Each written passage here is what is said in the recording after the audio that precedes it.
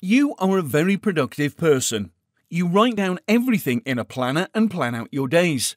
It feels like you have everything under control and know exactly what needs to be done. However, you feel that your handy planner is missing something. Something big. It's missing that big picture. You want to see the whole picture in relation to its parts. You want to see your schedule events and notes in context. With MindMapper 17, you can. It's the missing link that you have been waiting for. From the planner entry, simply click on the event. The entire mind map appears right in front of you.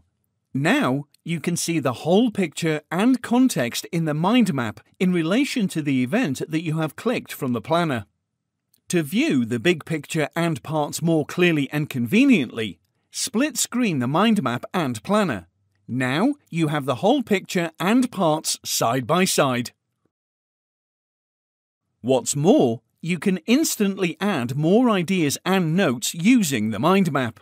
If you're a visual person, you can simply drag a topic to the planner and set a schedule. Automatically, a link will be created in the planner to the map.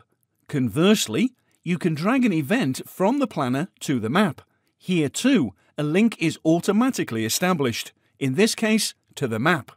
If you want to see a snapshot of your schedule, simply open the Gantt chart from the map and get the bird's eye view of your whole schedule.